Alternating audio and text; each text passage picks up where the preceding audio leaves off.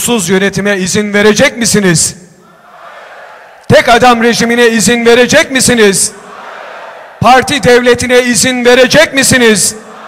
Meclisin tasfiyesine izin verecek misiniz? Ortak değerlerin tahribatına izin verecek misiniz? İzin verecek misiniz? İzin verecek misiniz? Saygıdeğer konuklar konuşmalarını yapmak üzere demokratik layık Türkiye ve güçlü parlamenter sistemin savunucusu. Söz konusu milletin egemenliği ise asıl yüce divan halkın divanıdır diyen. Şavşat'tan Ardanuç'a giderken terör örgütünün silahlı saldırısına uğradığında Allah'ın verdiği bir canım var. Ülkeme, Türkiye'ye feda olsun diyerek sonuna kadar mazlumların yanında olan Cumhuriyet Halk Partisi'nin çok saygıdeğer Genel Başkanı Kemal Kılıçdaroğlu'nu kürsüye davet ediyorum. Buyurunuz Sayın Genel Başkanım.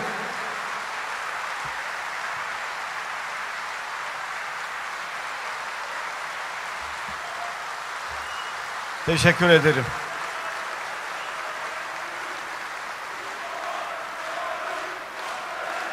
Beni beni sessiz ve sakin dinlemenizi istiyorum. Çok teşekkür ederim. Önce Cumhuriyet Halk Partisi'nin genel başkanı olarak konuşayım. Bana sorulan bir soru var. O sorunun yanıtını vermeye çalışayım. Ziraat Odaları adına konuşan arkadaşım gençler tarımdan büyük ölçüde çekiliyorlar. Gençlerin tekrar tarım alanına girmesi için Cumhuriyet Halk Partisi'nin bir çalışması, bir programı var mı diye. Eğer çiftçiye alın terinin karşılığını verirseniz, ürettiği ürünün karşılığını çiftçi alabilirse elbette ki gençler çalışmaya devam ederler.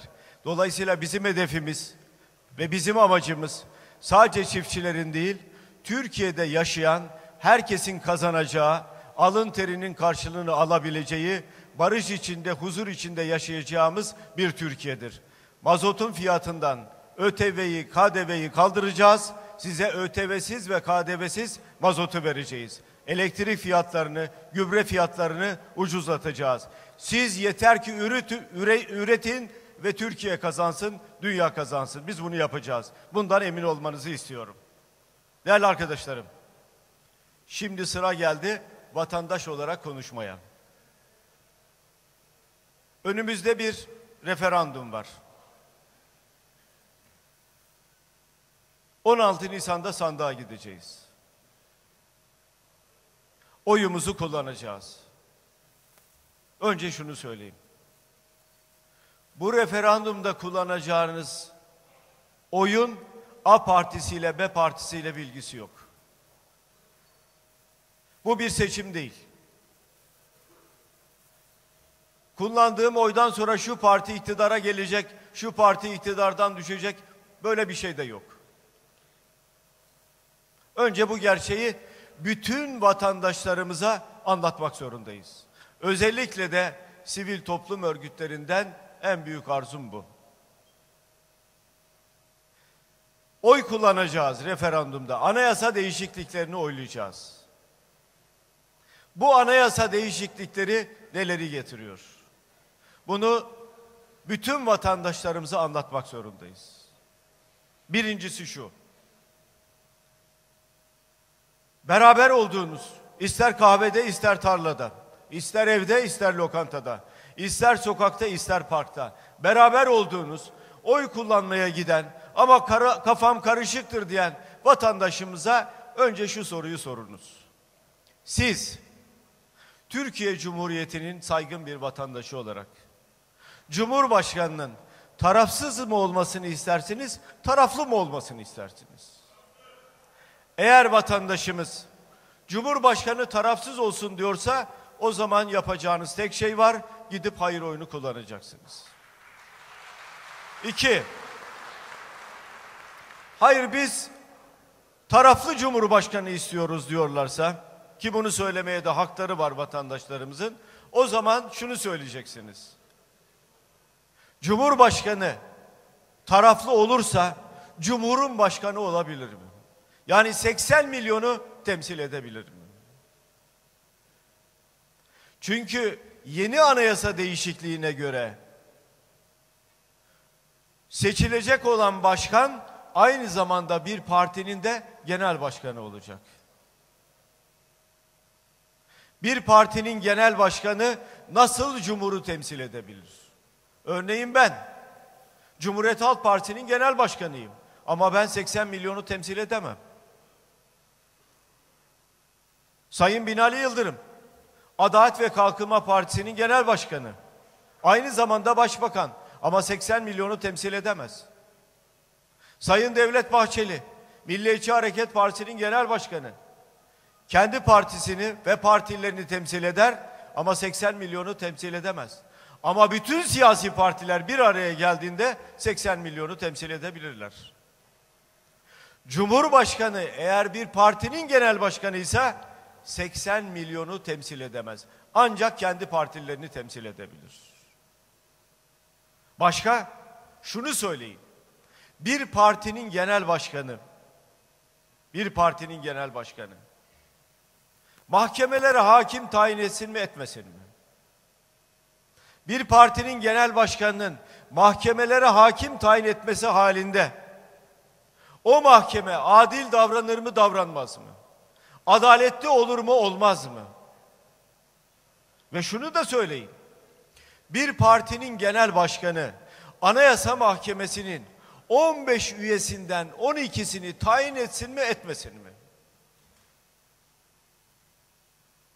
Bunu her vatandaşımızın kendi vicdanında sorgulaması lazım. Altını çiziyorum bu bir parti meselesi değil. A partisi B partisi olayı değil. Bu 80 milyon vatandaşımızın ortak sorunudur. O nedenle sandığa giderken hepimizin oturması, düşünmesi lazım.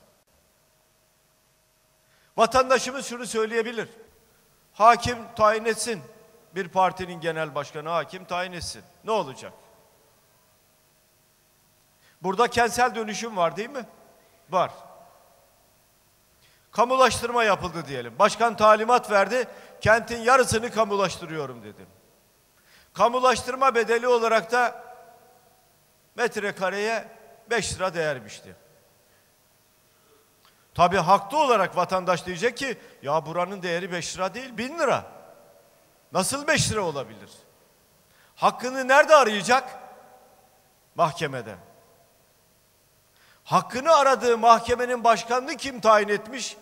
Kamulaştırma kararını veren başkan. Hakim vatandaşı mı dinleyecek yoksa başkanı mı dinleyecek?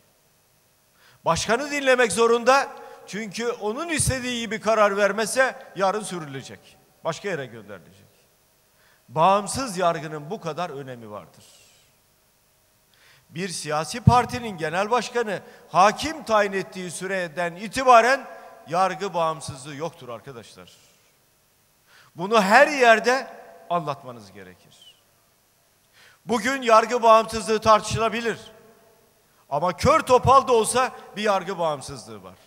Ama yarın bugün elimizde olan yargı bağımsızlığını tamamen kaybetmiş olacağız. Adaletten söz ediyorsak, hukuktan söz ediyorsak, birlikte yaşamaktan söz ediyorsak, eşit yurttaş olduğumuzdan söz ediyorsak, bunun güvencesi adalettir, yargıdır. Bu güvence elimizden alınırsa adaletten, haktan, hukuktan söz edemeyiz. Bunu bütün vatandaşlarımıza anlatmak zorundasınız. Başka? Şu soruyu sorun vatandaşlarımıza. 550 milletvekili var seçip gönderiyoruz. Sayıyı 600'e çıkarıyorlar. Bir Allah'ın kulu çıksın. Niye bu sayı 600'e çıkıyor bize anlatsın. Öyle ya. Niye 600'e çıkıyor? Kime verildi ek 50 milletvekili güvencesi? Dünyanın parasını ödeyecek bu ülkenin vatandaşları. 600 milletvekili için. Niçin? Makulü nedir? 450'dir. 450 milletvekilidir. Siz 600'e çıkarıyorsunuz. Vatandaşımın sorgulaması lazım. Niye 600 milletvekili? Ve niye ben bu parayı ödeyeceğim? Daha önemli bir şey. Daha önemli bir şey. 600 milletvekilini seçtik gönderdik yeni anayasaya göre. Anayasa değişikliği gerçekleşti ve 600 milletvekilini gönderdik. Ne yapacak bu 600 milletvekili? Mecliste ne yapacak? Şu anda ne yapıyor onu anlatayım. Şu anda mecliste yasama görevini yapıyor. Eğer herhangi bir vatandaşımızın sorunu çıkarsa, vatandaşımız tanıdığımız milletvekiline veya kendisinin tanıdığı bir milletvekiline telefon ediyor. Gerekirse randevu alıyor, gerekirse Ankara'ya gidiyor, milletvekiliyle konuşuyor, derdini anlatıyor, sorununu çözmeye çalışıyor. Sorun çözülür veya çözülmez. Ama milletvekilinin odasına gider, çayını kahvesini içer, öğle yemeğini milletvekili ısmarlar, sonra memleketine döner. Yeni düzende ne olacak? Öngörülen düzende ne olacak? Milletvekili ile milletin arasındaki bağ tamamen kopuyor. Neden? Çünkü milletvekili asla bir bürokrata telefon edemeyecek. Bakana da telefon edemeyecek. Çünkü bakan milletvekili değil. Bakan meclisten güven oyu istemiyor. Başkan da meclisten güven oyu istemiyor. Hiçbir bakanın mecliste ilgisi yok. Başkanın da mecliste ilgisi yok. Bütçeyi de kendileri hazırlıyorlar. İstedikleri gibi. Güven oyu meclisten istemiyorlar. Şu soruyu sorun. Benim seçtiğim vatandaş olarak, benim seçtiğim, parlamentoya gönderdiğim milletvekillerinden bir hükümet güven oyu istemiyorsa bu millete duyulan güvensizliktir. Niye güven oyu istemiyor? Bir hükümet güven oyu aldığı zaman daha özgüvenle çalışmaz mı? Hesabını sormaz mı? Milletvekili demez mi? Gel arkadaş ben sana güven oyu verdim. Sen neden bunu böyle yaptın? Bu soruyu soramayacak. Bu gerçekler henüz yeteri kadar vatandaşlarımız tarafından bilinmiyor. Bilinmiyor. Bunları kendi kendimize anlatmayacağız. Vatandaşa anlatacağız. Kendi dar çemberimiz içinde anlatmayacağız. Geniş bir coğrafyada anlatacağız. Gece konduda anlatacağız. Kıyıda köşede anlatacağız. Bu işlerle ilgilenmiyorum diyen vatandaşa anlatacağız. O zaman Türkiye'yi gerçek anlamda demokratik standartların egemen olduğu bir ülke haline getirmiş oluruz. Başka bir şey daha. Vatandaşımıza şunu söyleyin.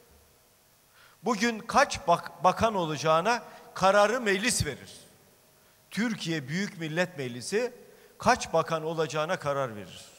Bir bakanlık kurulacaksa onun kanunu çıkar. Yani 550 kişi bir araya gelirler. X bakanlığı kurulacaksa X bakanlığının kurulmasına karar verirler. Bakanlığın görevlerini belirlerler. Görev alanlarını belirler ve bakan her seferinde meclise gelir. Bir yanlışlık yapılmışsa gen soru verilir ve bakan hesabını verir. Yeni değişiklikte bakan hiç meclise gelmeyecek. Gen soru çünkü yok verilmeyecek. Ne yaparsa yapsın. Yolsuzluk da yapsa meclis gen soru veremiyor.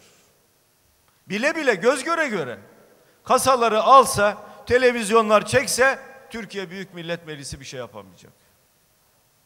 Vatandaşımıza sorun. Siz böyle bir düzen mi istiyorsunuz? Kimsenin hesap vermediği bir yapı mı istiyorsunuz? Vatandaşımız evet diyor ve bir apartmanda oturuyorsa ona şu örneği verin. Oturduğunuz apartmanda bir apartman yönetim kurulu var mı? Var. Aidat ödüyorsunuz? Evet. Peki o aidatlar doğru yere harcanıyor mu, harcanmıyor mu diye bir denetim kurulu seçiyor musunuz? Seçiyorlar.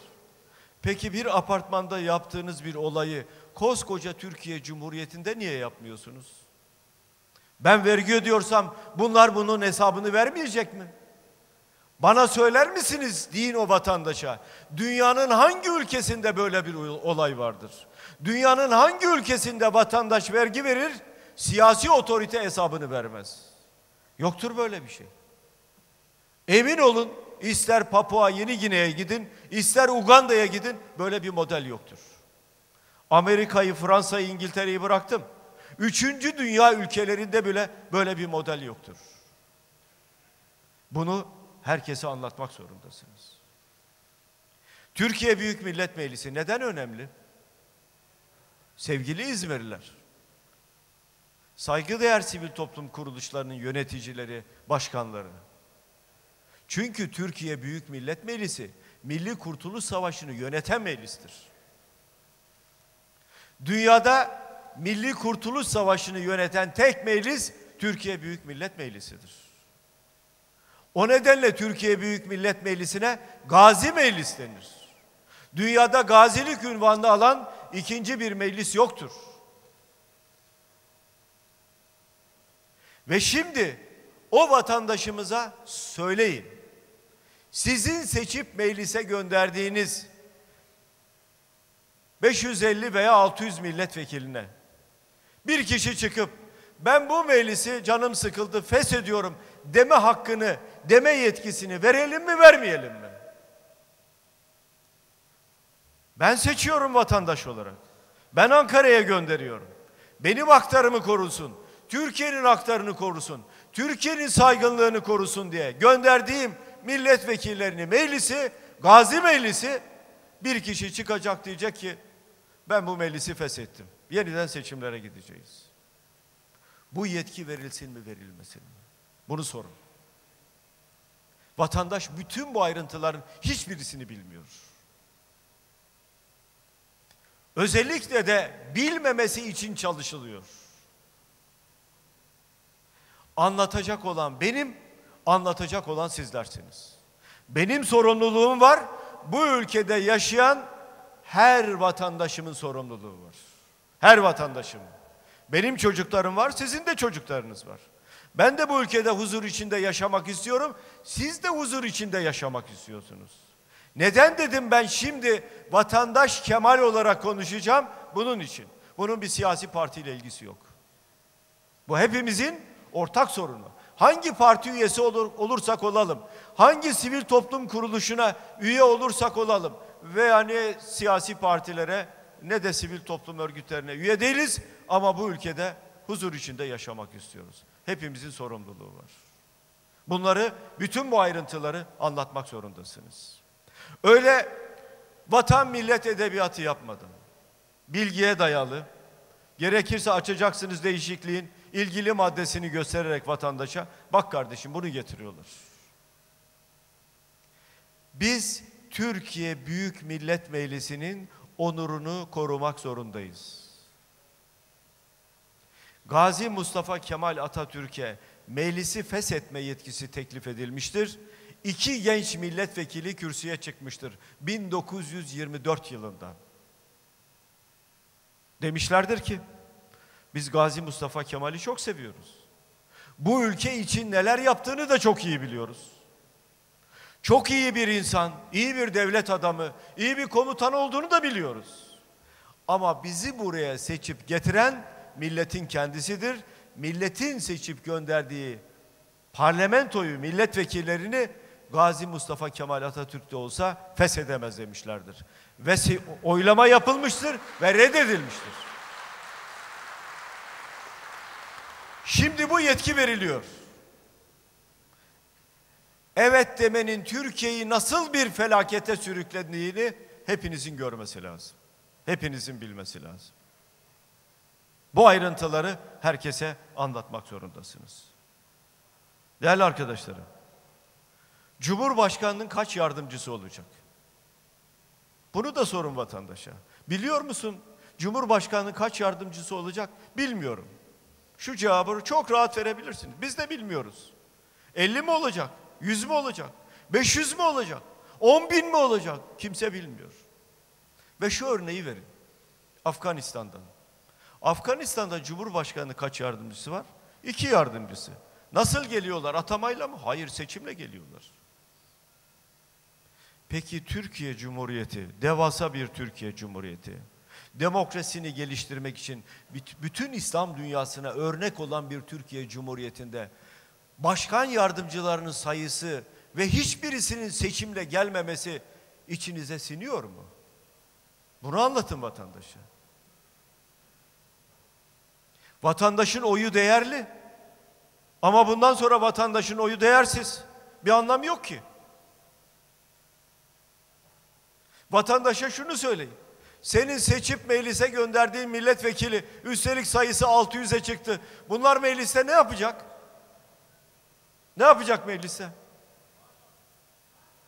Maaş alıp oturacaklar. Sonra ne olacak? Seçilen başkan bir süre sonra diyecek ki bu meclise ne gerek var diyecek ya. Oturup maaş alıp geçinip gidiyorlar. Bunu da feshedelim, bunu da kapatalım diyecek. Hazırlanan tuzağın uzun vadeli geleceği nokta burasıdır. Milli irade, milli irade, milli irade diyorlar değil mi?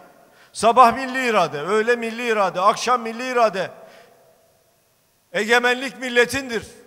E iyi de milletin seçip meclise gönderdiği milletvekillerini ve parlamentoyu sen nasıl feshedersin kardeşim? Eğer bu milli irade bu kadar değerliyse. Parlamentonun hiçbir gerekçe gösterilmeden feshedilmesi milli iradeye ihanettir. Bunu her yerde söyleyin. Her yerde söyleyin değerli arkadaşlarım. Her yerde anlatın bunları. Aramızda muhtar arkadaşlarım da var. Bir kararname. Başkanın canı sıkıldı. Bu muhtarlar da çok oldu dedi ve muhtarlıkları bir kararnameyle kapatabilir. Kaldırdı muhtarlıklarıdır. Çünkü anayasa değişikliğine göre devletin yapısı ve işleyişiyle ilgili kararname çıkarma yetkisi var. Altını bir daha çiziyorum. Devletin yapısı ve işleyişiyle ilgili kararname çıkarma yetkisi var. Belki bazı muhtar arkadaşlarım siz bunu söyleyince diyecekler ki olur mu efendim? Muhtarlıklar da kapatılır mı? Ona şunu söyleyin. Öyle bir yetki veriyorsunuz ki evet dediğiniz zaman bırakın muhtarlığı kardeşim adam Türkiye Büyük Millet Meclisi'ni kapatıyor, feshediyor. Muhtarlığı mı kapatmayacak?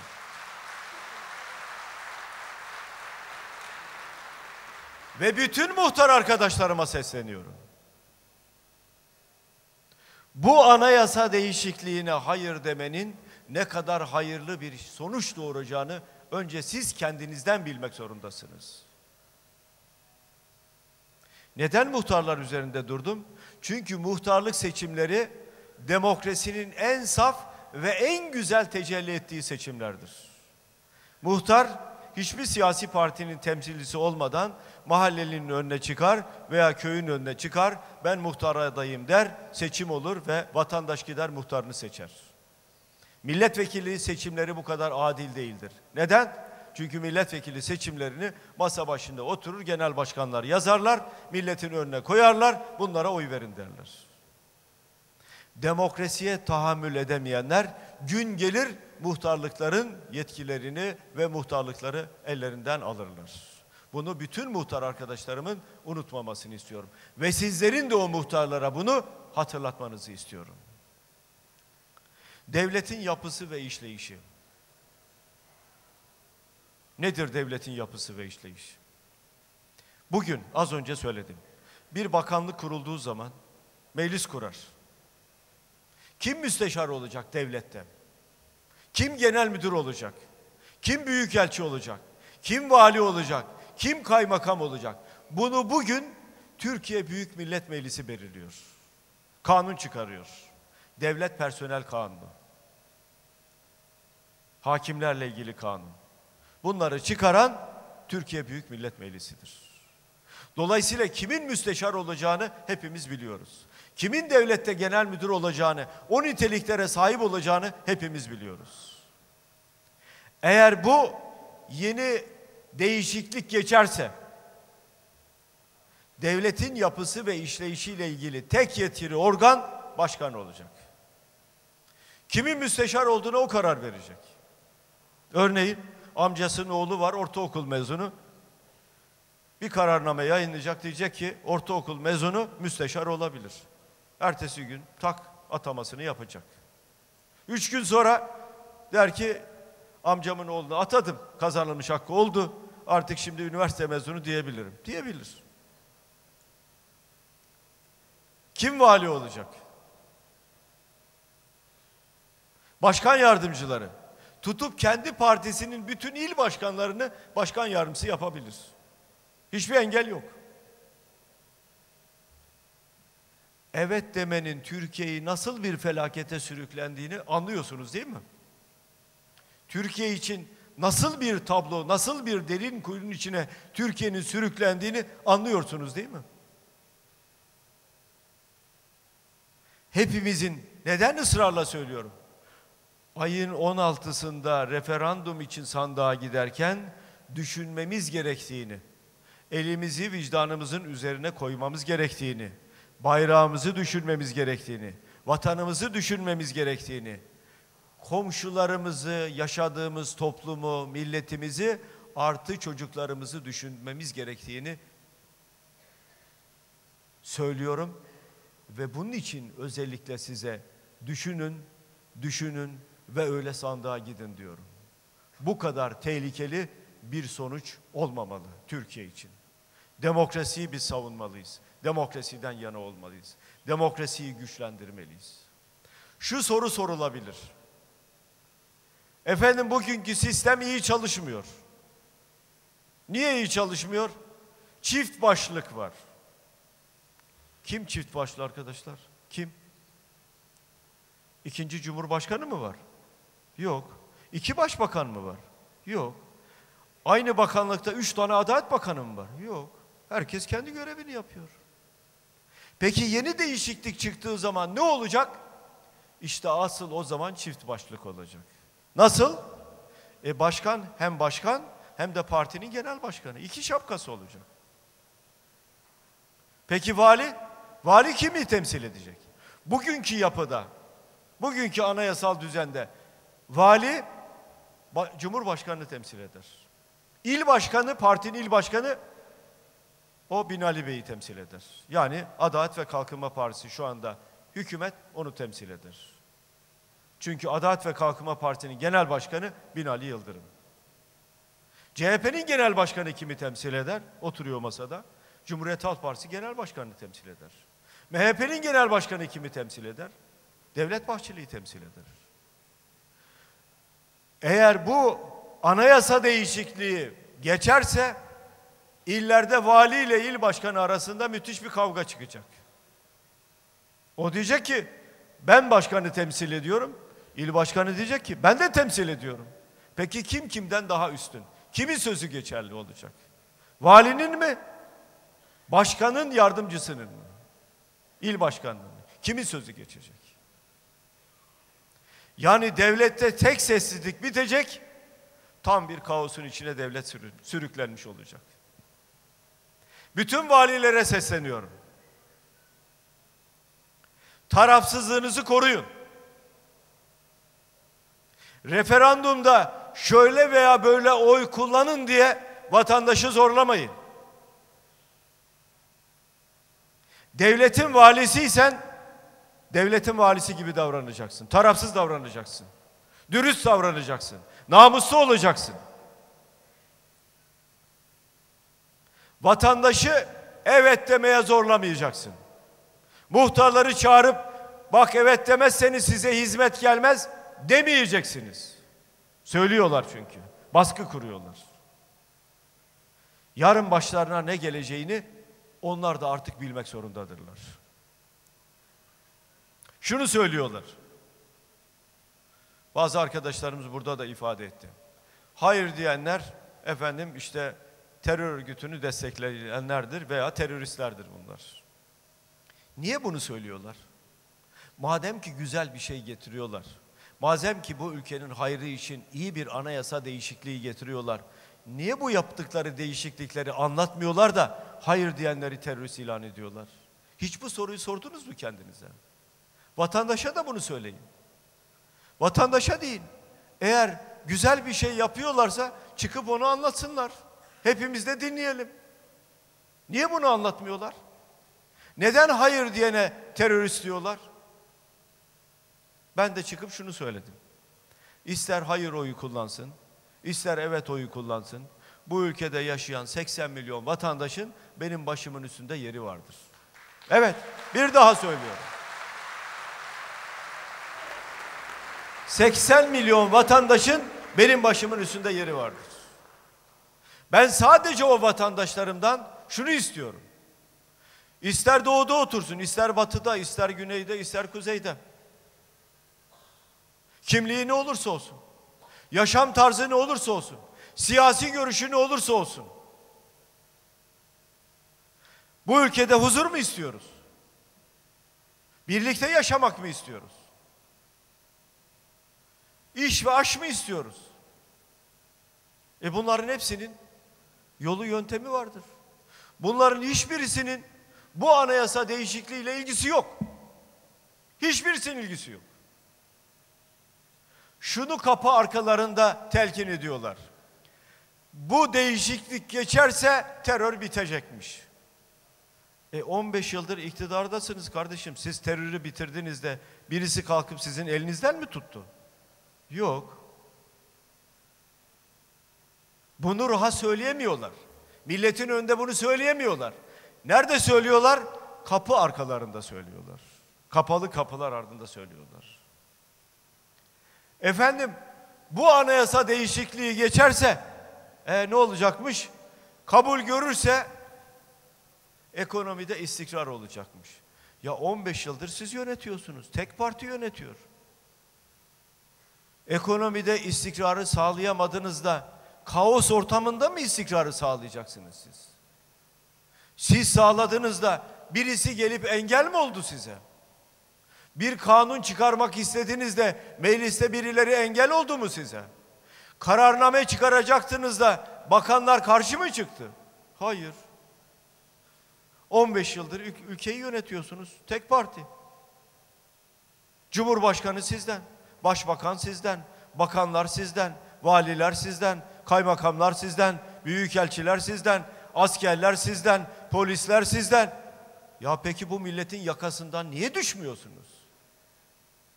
Neden bunu dayatıyorsunuz? Hangi gerekçeyle dayatıyorsunuz? Bir madde daha getirmişler. 18 yaşında milletvekilliği. Olsun mu? Elbette olsun. İtirazımız yok. Ama bir şeyi itiraf ettiler. 18 yaşında asker olacak, e, affedersiniz milletvekili olacak. 18 yaşında milletvekili yapacağımızın çocuğumuzun askere gitmemesini, askerlikten muaf olmasını sağlayacağız. Ben şimdi merak ediyorum. Ziraat odalarından arkadaşımız burada. Allah aşkına çiftçinin çocuğu 18 yaşındaki çocuğu milletvekili olacak mı? Bakkalın çocuğu olacak mı? Manavın çocuğu olacak mı? Simitçinin çocuğu olacak mı? Kimin çocuğu olacak? Kendi çocuklarının torunlarını 18 yaşında milletvekili ve bir hiç de askere gitmemesinin yollarını açacaklar. Peki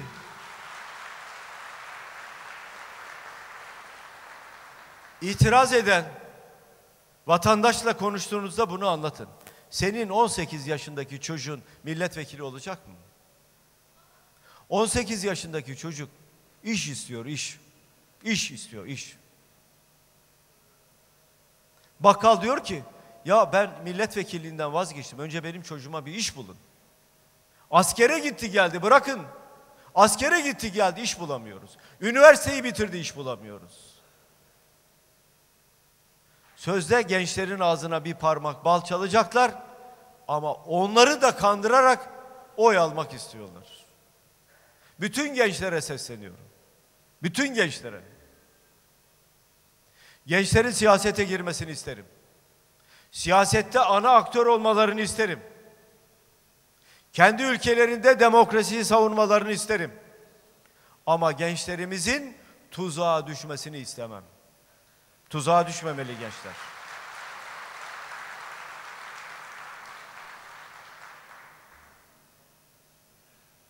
Evet oyu isteyenler neden evet oyu istediklerini anlatmıyorlar. Anlatamıyorlar da. Yeri geliyor diyorlar ki Kılıçdaroğlu gidiyor meydanlara doğruları söylemiyor. Ben de onlara şu çağrıyı yaptım. Amerika'da, Fransa'da, Almanya'da, Japonya'da, 1980'li yıllarda Türkiye'de böyle önemli olaylarda siyasi partilerin liderleri televizyonlara çıkarlardı. Vatandaşlar yani oradaki gazeteciler soru sorar ve bizler de cevap verirdik. Vatandaş da evinde otururken kim doğruyu söylüyor, kim doğruyu söylemiyor oturur kendi kanaatini oluştururdu. Çağrıyı yaptım Sayın Binali Yıldırım'a, Sayın Devlet Bahçeli'ye.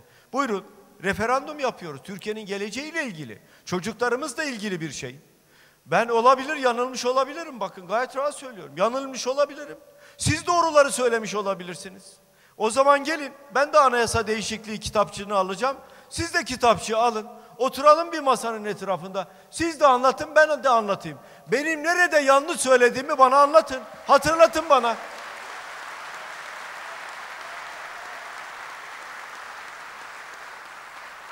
Geliyorlar mı?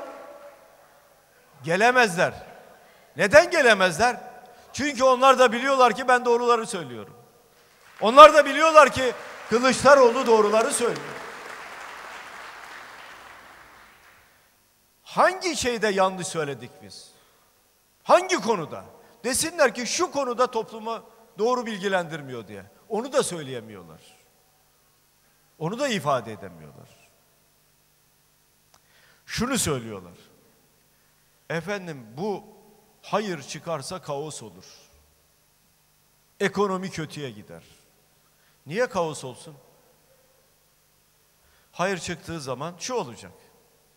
Sayın Cumhurbaşkanı Cumhurbaşkanlığını yapacak. Görev süresi dolmadı. Sayın Binali Yıldırım Başbakanlık görevini yürütecek. Yani hayır diyerek biraz da Binali Bey'i koruyoruz, savunuyoruz yani. Koltuğuna sahip çıkıyoruz. Başbakan olarak sen de görevini sürdür diyoruz. Bakanlar görevlerini yapacak. Türkiye Büyük Millet Meclisi yasama görevini yapacak. Muhalefet partileri olarak bizler iktidarın yanlışları varsa onları dile getireceğiz. Parlamentoda oturup tartışacağız. Peki hayır demenin asıl anlamı ne? Asıl anlamı şu.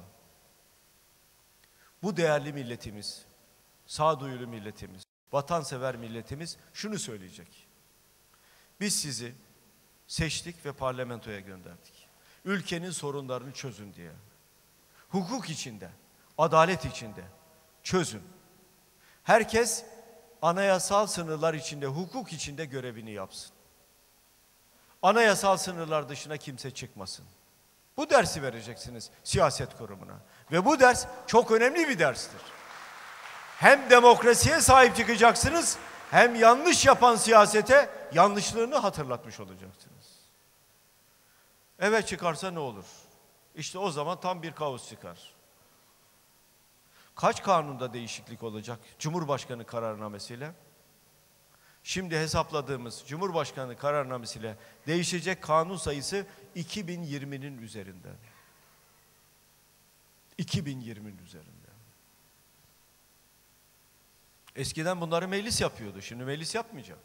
Bir kişi oturacak kanunları yazıyorum diyecek. Asıl tehlike nerede? Asıl tehlikeyi söyleyin. Bir kişiyi ikna ettiğiniz zaman, yani başkanı ikna ettiğiniz zaman Türkiye Cumhuriyeti devletini en geç 24 saat içinde ele geçiriyorsunuz. En geç 24 saat içinde. Nasıl? Bugünlerde çok konuşuluyor ya. İşte hayır diyenler de FETÖ'cüdür diye vesaire suçlamalar, teröristtir diye suçlamalar yapılıyor. Fethullah Gülen terör örgütü devlete sızmak için 30-35 yıl çalıştı. 30-35 yıl. Valiliğe, kaymakamlığa, hakimliğe, orduya her alana sızdı. Devletin her alanına sızdılar. Şimdi bu kadar büyük çaba göster göstermeye gerek yok. Bir adamı kandırdınız mı o kararname çıkaracak, çıkaracak. Bir günde 81 ilin valisini, 81 ilin kaymakamlarını, 81 ilin müftülerini, ordunun bütün kuvvet komutanlarını isterse tek bir kararnameyle hepsini yeniden düzenleyebilir. Kendi adamlarını bir günde yerleştirebilir. Peki böyle bir uygulama dünyanın herhangi bir ülkesinde var mı? Yok. Peki bizim insanımız, vatansever insanımız, ülkesini, bayrağını seven vatandaşlarımız bu kadar yetkiyi bir kişiye verebilir mi? Vermemesi lazım. Bizim İstanbul milletvekilimiz İlan Kesici'nin dediği gibi bir Anadolu deyimi. Bu kadar yetkiyi evliyaya versen evliyayı azdırırsın diyor. Bu kadar yetki verilemez bir kişiye. Yazık günahtır.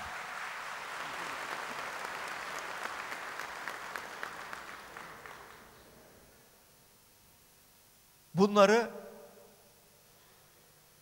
bir partinin genel başkanı olarak değil, ülkesini seven, insanını seven, hangi görüşten olursa olsun, insana hizmet etmeyi kutsal bir görev olarak kabul eden vatandaş Kemal olarak size anlattım.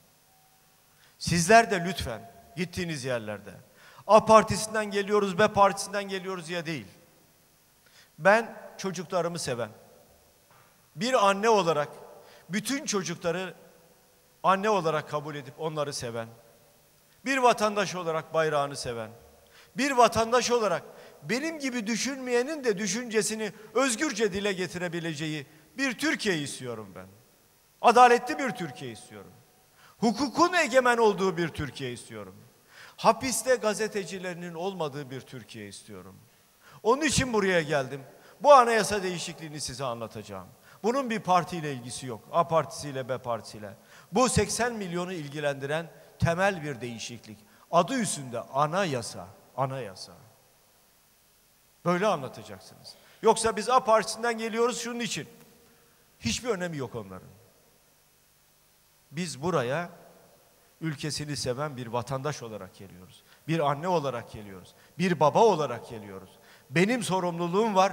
Size de sorumluluğunuzu hatırlatmaya geldik. Böyle bir Türkiye mi istiyorsunuz? Daha güzel bir Türkiye mi istiyorsunuz? Herkesin düşüncesini özgürce ifade edebileceği bir Türkiye mi istiyorsunuz? Yoksa bir kişiye yetki verelim, onun gibi düşünmeyenin kafasına sopayla vuracağı bir Türkiye mi istiyorsunuz? Bu işin kimlikle de ilgisi yok. Doğuda yaşayanlar için ayrı anayasa, batıda için ayrı anayasa yok. Bu ülkede yaşayan 80 milyon için aynı kurallar geliyor. Aynı kurallar. Yaşam tarzıyla da ilgisi yok. Gelir dağılımıyla da ilgisi yok.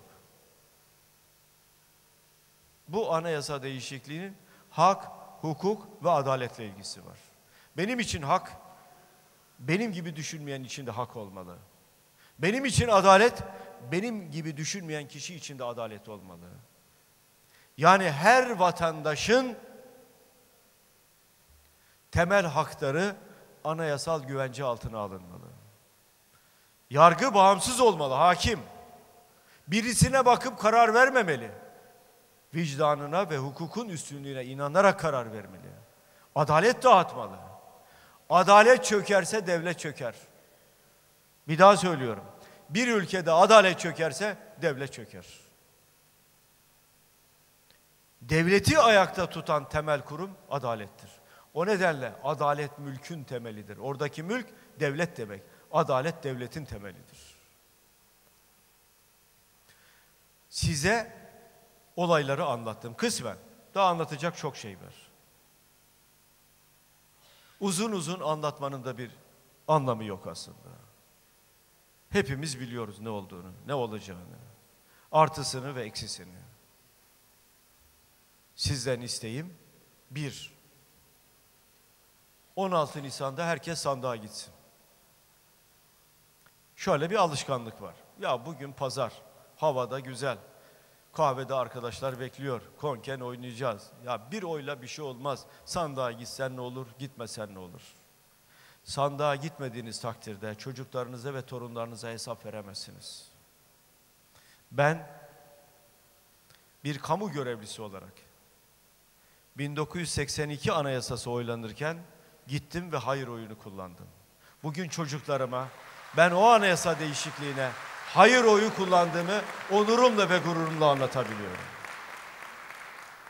Bu onuru taşıyın. Bu onuru taşıyın. Çocuklarınıza ileride söyleyeceğiniz en güzel cümledir bu cümle. Evet gittim, hayır oyunu kullandım.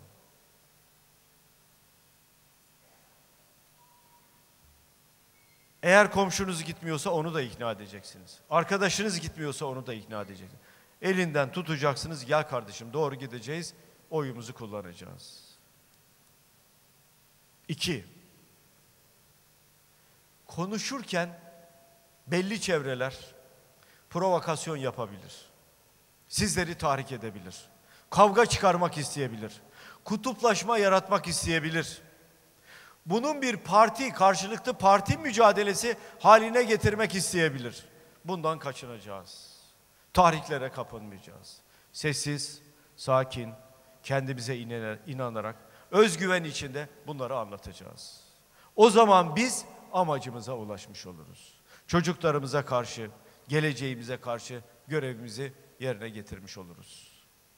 Evet, hep beraber güzel bir Türkiye'de, demokratik bir Türkiye'de huzur içinde yaşamak istiyoruz. Bunu sağlamak mümkün. Tarihi bir fırsatı yakalamış durumdayız. Yapılan oylamanın iki bacağı var. Demokrasiyi mi istiyoruz? Her şeye muktedir tek adam mı istiyoruz? Demokrasi istiyorsak hayır, hayır.